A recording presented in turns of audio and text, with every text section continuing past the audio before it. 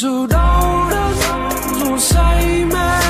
dù yêu đương, dài lê thế anh thương em bao